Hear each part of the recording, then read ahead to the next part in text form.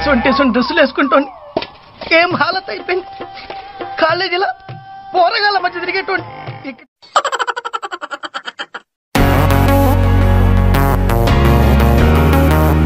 Bathroom లా జాంగలు బనీన్లు ఏదైనా ఉంటే బయట ఆరా చేసుకోండి. విషయాన్ని ఏమని పిలుస్తావు? నన్ను? మానస్ని? అట్లా ఏం పిల్లలు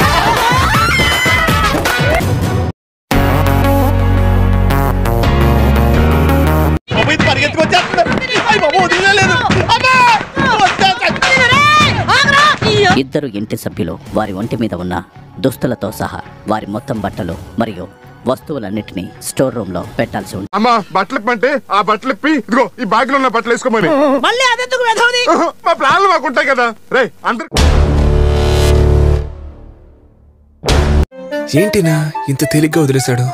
గొడవ గొడవ చేస్తాడు అనుకున్నానే సంథింగ్ కంప్లీట్ అవ్వట్లేదు. అమ్మా ఇన్ని పాటలతో ప్యాక్ చేశాక? డైలాగ్ లేదా? ముఖం చూసుకో అద్దంలో పోయి. ముఖం గురించి మాట్లాడితే ముఖం పగిలిపోద్ది. నేను ప్రేక్షకుణ్ణి. మీలో మీరు కొట్టుకొని చావండి. నన్ను ఎంటర్టైన్ చేయండి.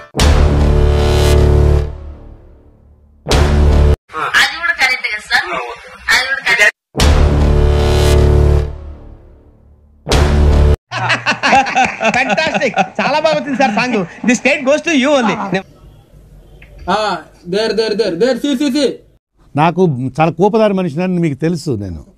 చూడండి అక్కడ ఏముందో మీకు చేసి ప్రయోజనం ఏంటి ఇదంతా నాటకం నేను ఎప్పటికీ నమ్మలేకపోతున్నాను రామనాథం గారు. ఎంత వివేకంతో ఆలోచించండి.